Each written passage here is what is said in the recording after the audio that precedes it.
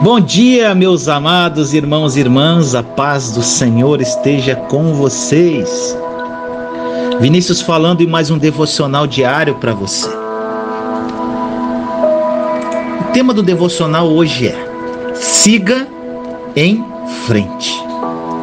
E a passagem que eu queria partilhar com você está em Lucas 4, dos versículos de 24 a 30. Diz assim: Jesus, vindo a Nazaré, disse ao povo na sinagoga: Em verdade eu vos digo que nenhum profeta é bem recebido em sua pátria. De fato eu vos digo, no tempo de Elias, quando não choveu durante três anos e seis meses, e houve grande fome em toda a região, havia muitas viúvas em Israel. No entanto, a nenhuma delas foi enviado Elias, senão a uma viúva que vivia em Sarepta, na Sidônia.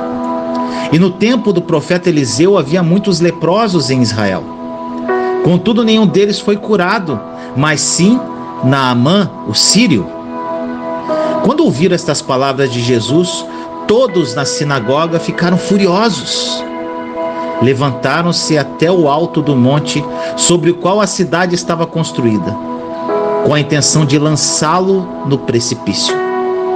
Jesus, porém, passando pelo meio deles, continuou o seu caminho. Meus amados irmãos e irmãs, esta passagem é muito poderosa. E aqui nós podemos retratar a dor que nós sentimos de não sermos compreendidos e aceitos por aqueles que nos cercam. E essa é uma das maiores dores que nós podemos sentir. E Jesus experimentou esse sofrimento e ainda assim, com o coração livre de mágoas, foi fiel ao propósito que o Pai tinha para a sua vida. Meus amados, é certo que nós precisamos de palavras de estímulo e aprovação para afirmar os nossos passos numa direção e compor a nossa estrutura emocional. Mas nem sempre são essas palavras que ouvimos. Você já parou para pensar que nem todos ao seu redor andam no mesmo ritmo que você? E muitas vezes não passam pelas mesmas experiências que você tem vivido? Isso pode ser fonte de incompreensão, divergência e rejeição, mesmo por parte daqueles que mais nos amam quando eles não são capazes de respeitar o nosso caminho e aceitar o chamado que Deus tem para nós. Aprenda a não cobrar aceitação e a tolerar a incompreensão quando ela chegar. A palavra diz que Jesus, passando no meio deles, continuou o seu caminho. Saber ir adiante com o coração sereno passando pelo meio de palavras duras ou de acenos de reprovação, é uma condição para todo aquele que quer perseverar no seu caminho de vida. Continuar o caminho quer dizer não ficar preso àquilo que ficou para trás, nem por mágoas e nem por cobranças.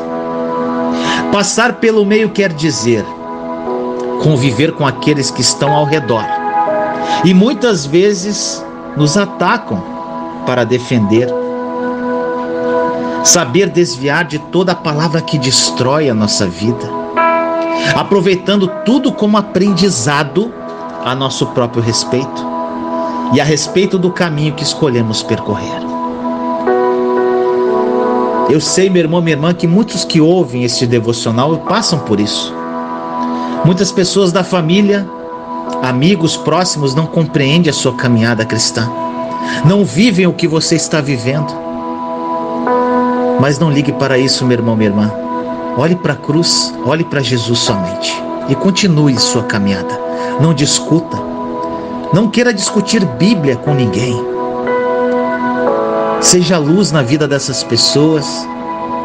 De alguma forma, em algum momento, essa luz vai resplandecer de você e essas pessoas terão sede do que você carrega. Vamos orar? Pai amado, nos colocamos em Sua santa e doce presença nesta manhã, eu, meus irmãos e irmãs em Cristo Jesus. Pai querido, muitos de nós está estacionado no caminho da vida,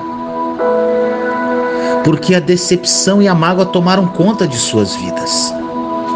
Muitos ouviram palavras duras de quem esperava compreensão, e isso tornou-se para eles um fardo que impede que eles continuem apostando no seu caminho, papai.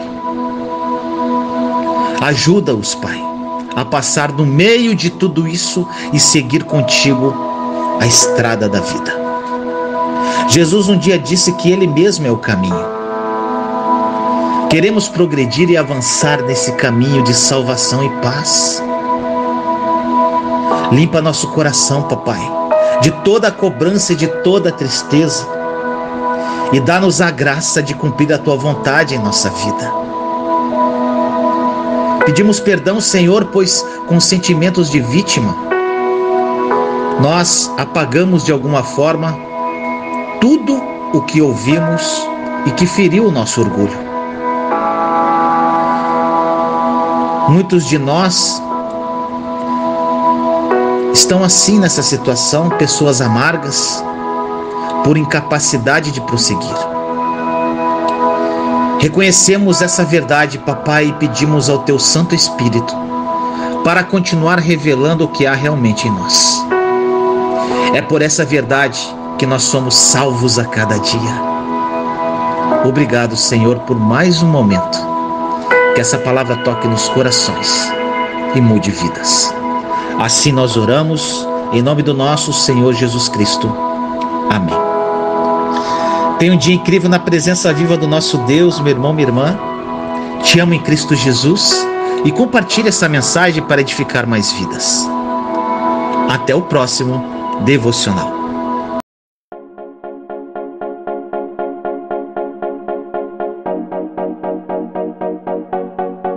Juntos somos fortes.